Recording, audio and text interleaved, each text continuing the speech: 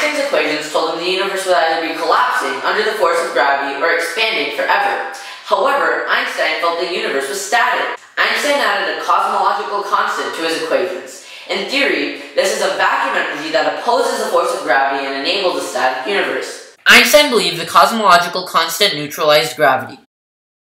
In the 1920s, Edwin Hubble studied a type of star known as the Cepheid variable to determine how galaxies in deep space were moving relative to the Earth.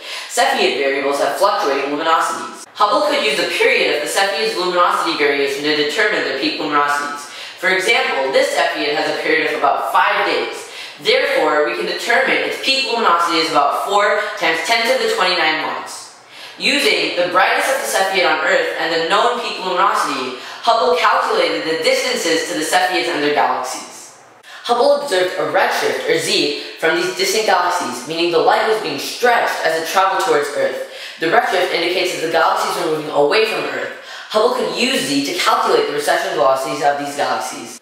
Hubble noticed that the recession velocities of the distant galaxies were proportional to the distance they were from us. This is Hubble's law. So what does this mean for the universe?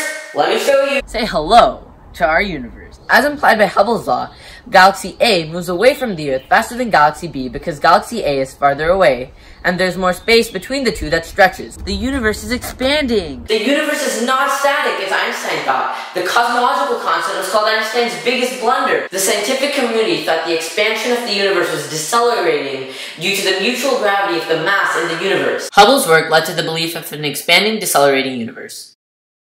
For very distant galaxies, when the value of z is greater than 0.2, a deceleration parameter must be introduced to formulas. Two teams set out to calculate the deceleration parameter using type 1a supernovae. All type 1a supernovae are created equal when a white dwarf accretes matter from a binary companion and explodes. They all have the same peak luminosity. Based on the brightness of type 1a supernovae on Earth and their universal peak luminosity, the teams could calculate the distances to the type 1a supernovae. Using the distances to the supernovae and their redshifts, teams could calculate the deceleration parameter.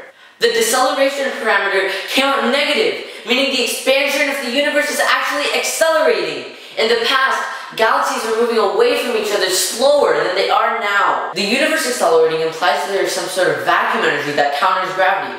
Sound familiar? Return to the cosmological constant. It is now known as dark energy and dominates over gravity, causing the acceleration of the universe. Data from the Planck satellites indicates that 68% of our universe is dark energy. A negative deceleration parameter implies dark energy dominates the universe. So what is dark energy? We don't know.